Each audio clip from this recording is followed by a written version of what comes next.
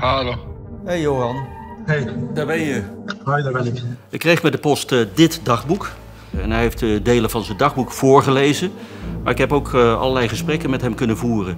Ik heb haar een trap in het gezicht gegeven. Ik kan me herinneren dat ze, dat ze... Kijk, Joran staat natuurlijk wel bekend als een serieleugenaar. En ik wilde gewoon als journalist alles checken wat hij te vertellen had of wat hij beschreef in zijn dagboek.